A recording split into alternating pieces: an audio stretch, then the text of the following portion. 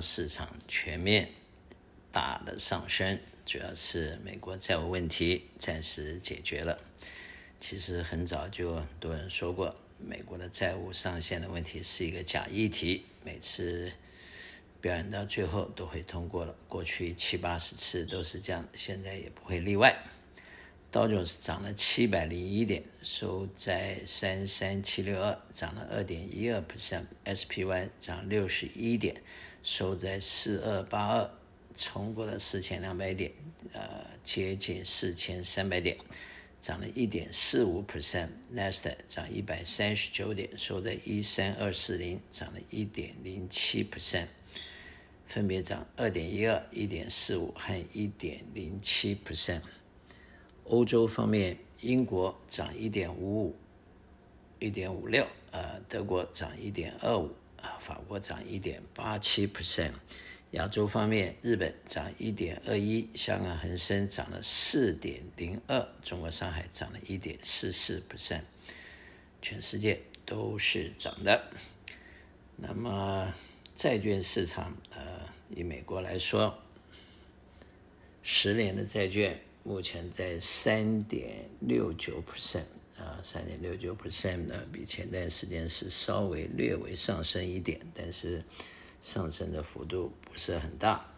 三个月的呃的这个利息五点三五，六个月五点四四，一年五点二三，然后两年是四点五零，五年三点八四。十年三点六九，三十年三点八九，十年到三十年是三点六九到三点八九，呃，一年的的和六个月的利息是五点二三到五点四四，两者之间足足有一点五到一点八个 percent 的这个 gap gap 的情况，非常的严重啊。一般来说，这是代表短期。呃，美国的经济可能不会很好。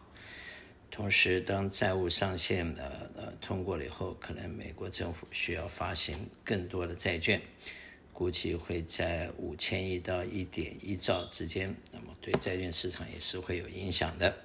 西德州油七十一块七毛四，布兰特油七十六块一毛三，Natural Gas 两块一毛七。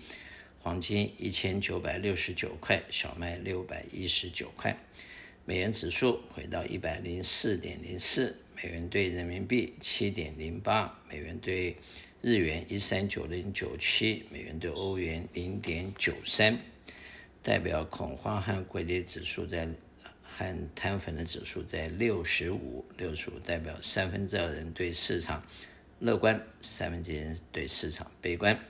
乐观的人越多，市场越危险。不过目前三分之二没有到百分之八十，还可能还有一点小小的空间。不过，投资人在目前面对许多不确定的因素，应该要明白投资市场的一些基本原则。其实投资并不是这么复杂，只是你要掌握原则，而且要坚守原则。